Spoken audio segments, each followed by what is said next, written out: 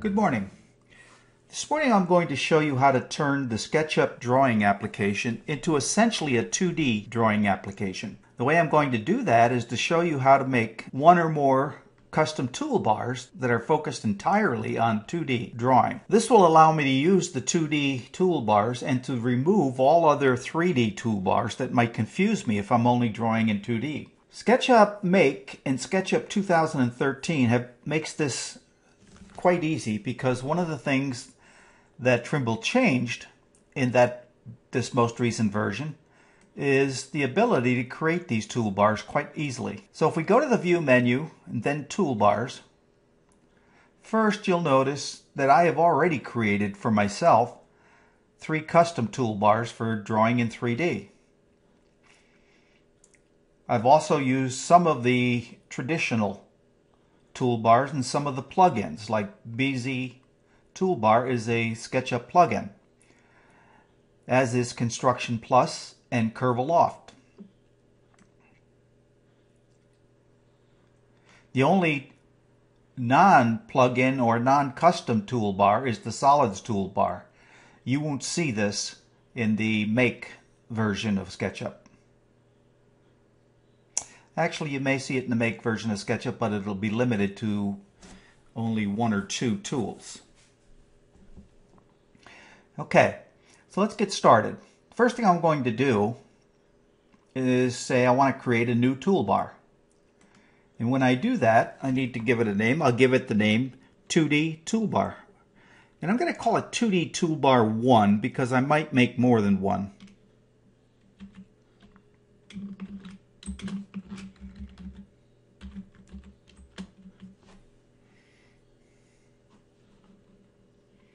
I say OK and I've got a blank toolbar right here.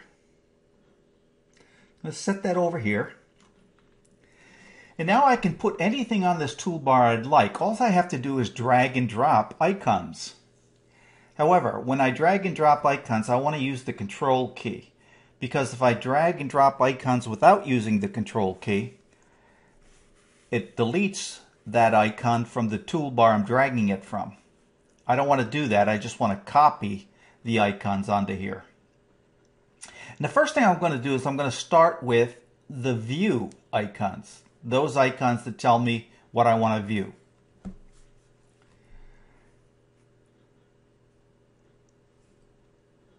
Actually, let me let me rethink that, and there are some other icons that um, I'll want on here as well. What I'm going to do, using the control key and holding it down, I'm going to select this icon, which is the create a new model icon. I'll drag that, put that over here. I'll then drag the open icon over.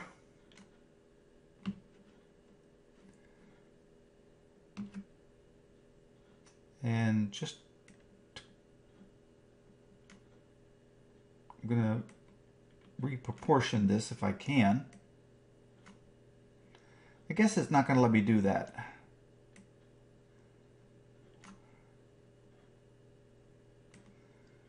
I'll just drag this like this. There we go.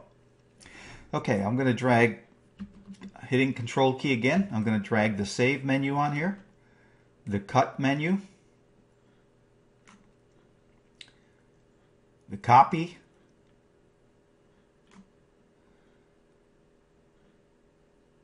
paste,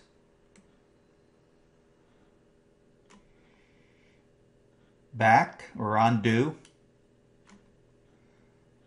redo, model info.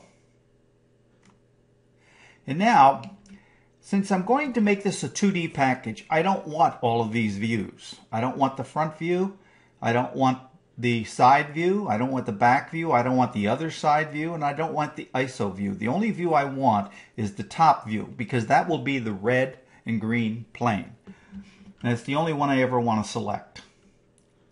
So I'll drag that on here.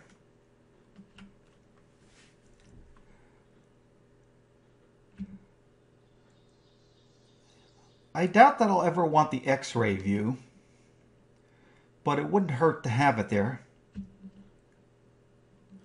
If I'm drawing in 2D and the, everything is on the same plane, X-ray is not going to do me a lot of good. So I'm going to leave that off. I'm going to leave the back edges off. And I'm going to leave wireframe. Well, wireframe may be useful. I'll put that on here.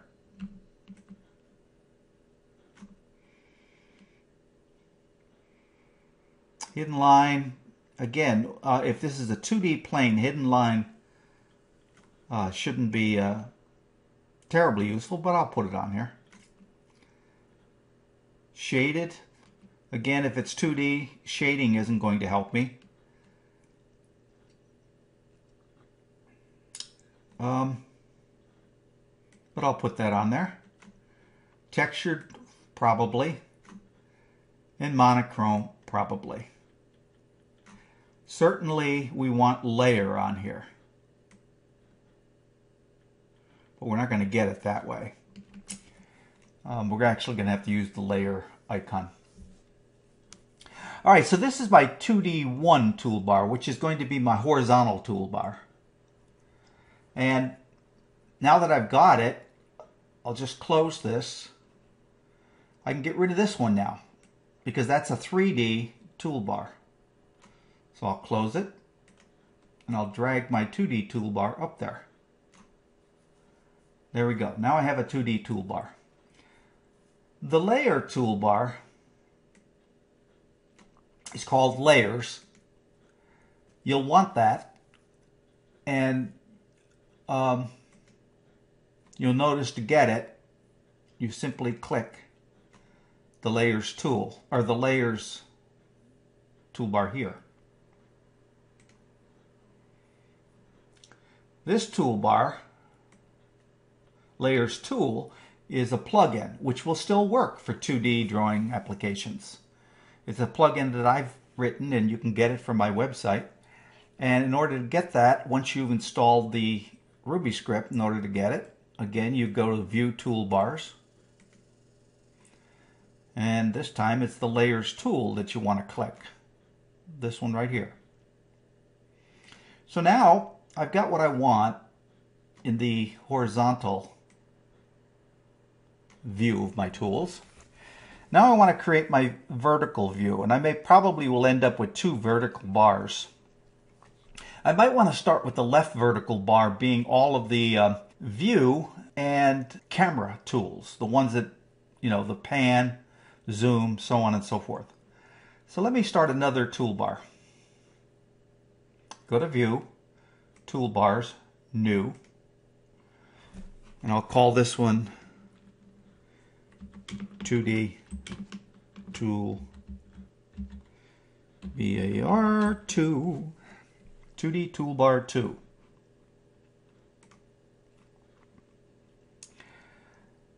so the first thing I'm going to want on here is all of the tools that allow me to move around the view. I'll start with pan. Put that on there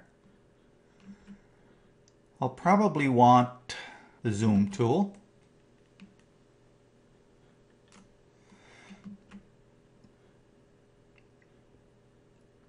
I'm going to get rid of some of these tools. Let me just move some of them over there like that so I can see them. I'll probably want the previous view toolbar. Maybe the extension warehouse, but I'll leave that off for the moment. Uh, let me put that on there and I can reorganize it later. And let's see, axis, I want that. Even though I'm only going to be dealing with two axes, I may want to be able to switch them on and off. Probably want the paint bucket. I'll put that on here. Make component, I'm going to want that. Even in 2D, we're going to want to make components. These are all drawing tools.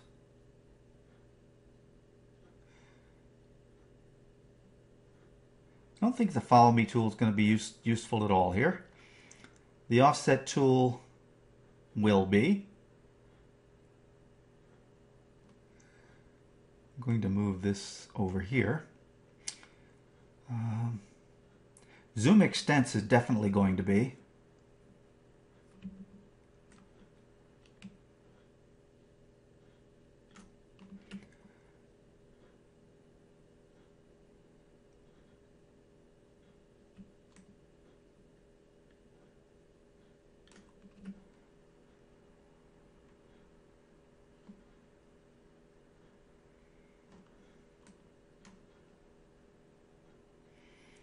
And let's see, what else?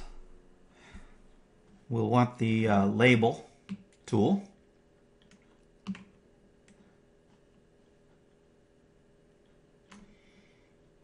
going to shift things around. Whoops. I'm going to shift things around here a little bit.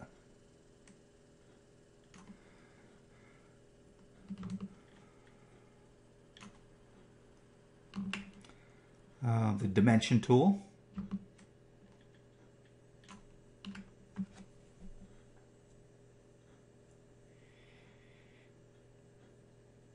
I'm going to add another new one. This one I'm going to call Toolbar 3. 2D Toolbar 3.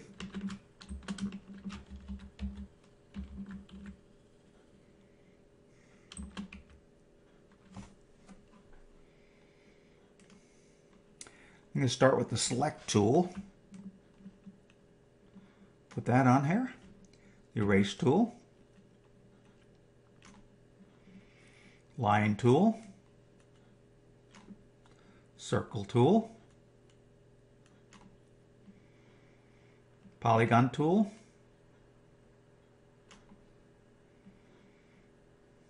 rotate,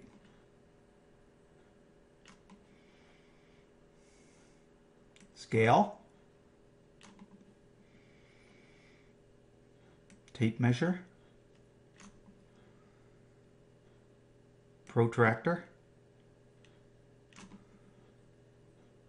got the axis, I've got the pan, I've got the zoom, previous, extensions warehouse. Let's see if there's something down here that I'm missing.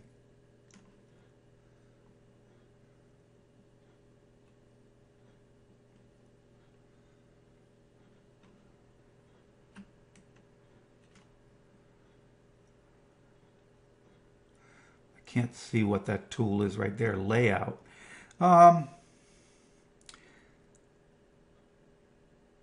well, that's that's for the pro version where you get the layout application, so I'm not going to add that tool. These are all custom tools from a uh, plugin application. We won't be able to use those.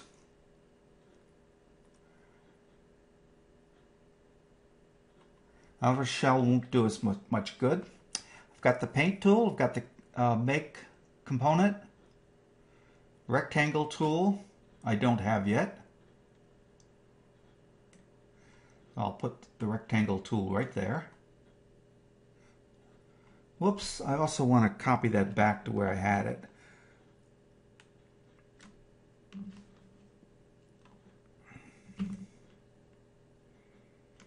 Didn't I didn't use the uh,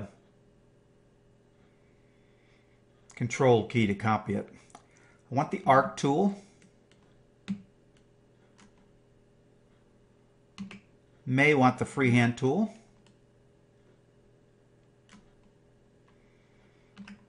I do not want push-pull. That would make 3D objects. I don't want follow me. That would make 3D objects.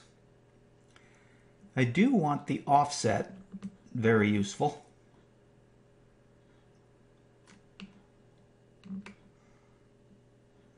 I already have the dimension tool, the label tool. I don't want orbit, that's three-dimensional. So I think I've got it. I think I've got three toolbars here that are going to do what I want. So let me close this. And what I'm going to do is get rid of this toolbar now. I'm going to get rid of this toolbar.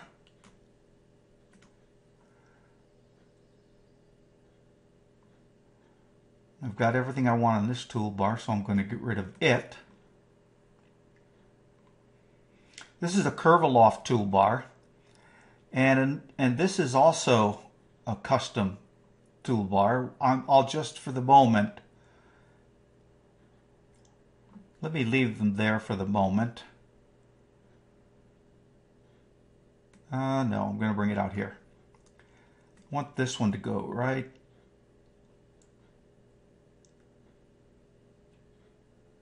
there.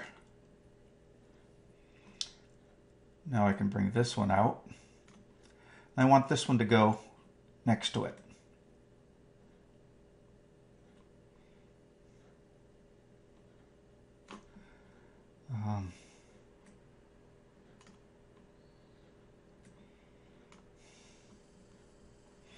I guess I have to uh,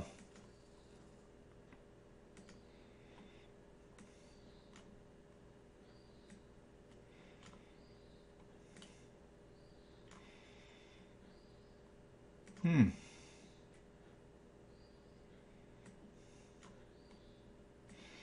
going to try and make this. There we go. Now we got it a vertical toolbar. I'll move it over to this side.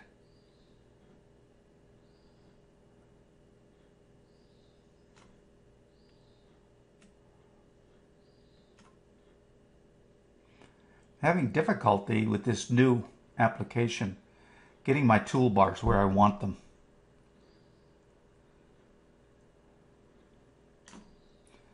Well, one thing I might do is bring that one in here.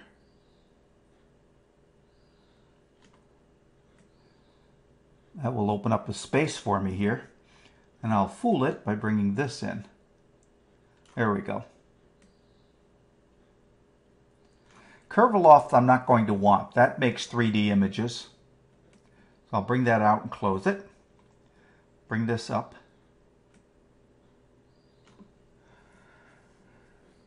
And